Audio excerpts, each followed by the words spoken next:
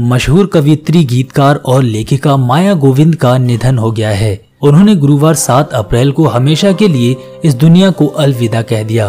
कहा जा रहा है कि माया पिछले काफ़ी वक्त से ज़िंदगी की लड़ाई लड़ रही थी, पर अफसोस गुरुवार को माया ज़िंदगी की ये जंग हार गई और 80 साल की उम्र में उनका देहांत हो गया, जिसके बाद हिंदी सिनेमा में शोक की लहर दौड़ गई है। ऐसे में हर कोई उनकी आत्मा की शांति की कामना कर रहा है।